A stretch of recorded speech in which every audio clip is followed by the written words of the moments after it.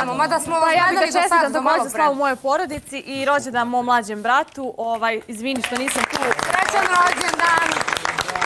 Eto, žao mi je što nisam ove godine tu sa tobom, ali obećavam ti da će svake naredne biti i da se zahvalim svima koji su mi poslali. Također, još jednom srećno vam slava, srećan tvom bratu rođendana. Mi idemo odmah na, na prvi video.